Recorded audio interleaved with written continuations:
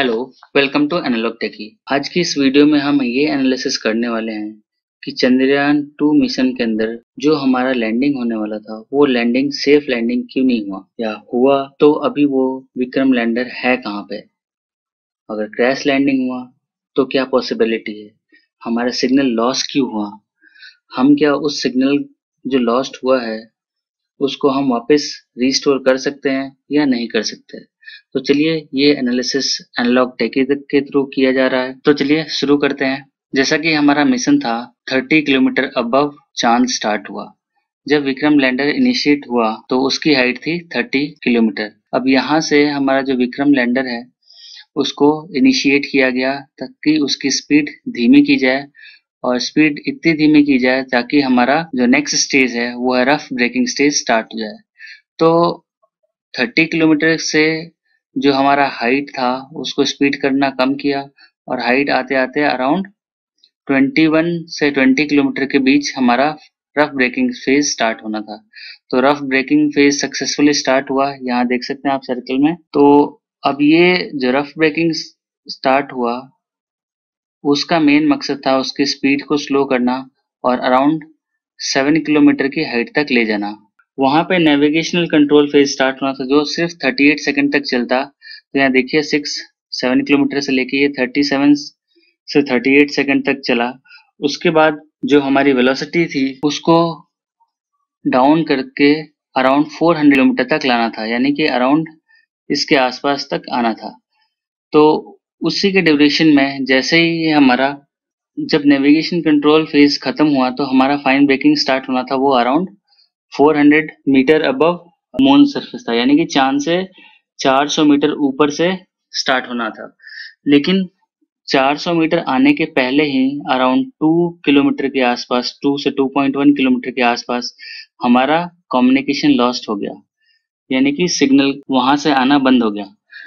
तो सिग्नल आना बंद हो गया। इसका मतलब ये था कि या तो हमारा जो स्पीड था, वो स्पीड कम नहीं कर पाए। या तो फिर उस जगह पे ऐसी कोई कंडीशन हो जहाँ पे सिग्नल प्रॉपरली ट्रांसमिट नहीं हो पाया और वो ब्लॉक हो गया, जिसकी वजह से दो पॉसिबिलिटी बनती है।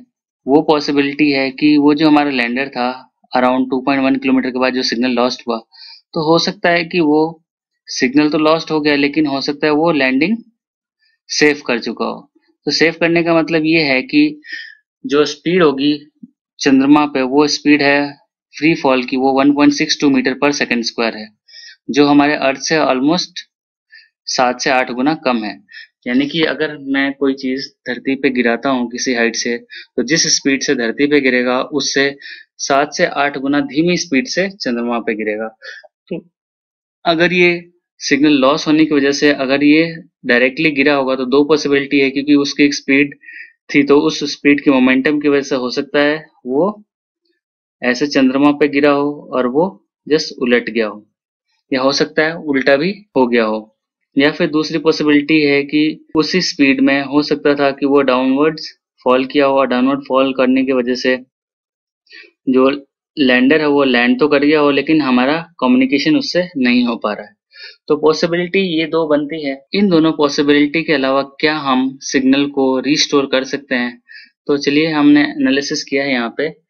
कि possibility of lander and rover क्या क्या हो सकती है? हो सकता है क्रैश लैंडिंग हुआ जिसकी वजह से कम्युनिकेशन डिवाइसेस जो थी वो डैमेज हो गई हो और हम उससे कम्युनिकेशन नहीं कर पा रहे हो।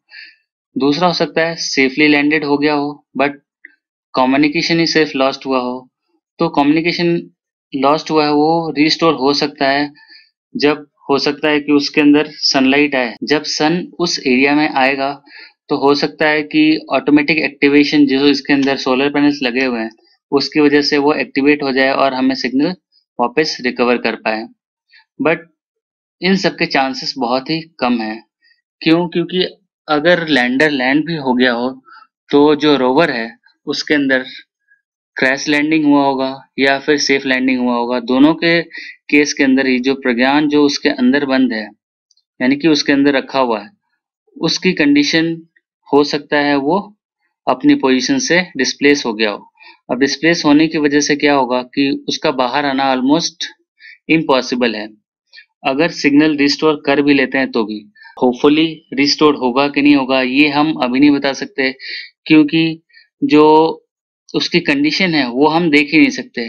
तो उसकी कंडीशन देखने के लिए हमारे पास हमने जो तीन चीज़ें भेजी थी, एक लैंडर था, एक रोवर था और एक ऑर्बिटर था।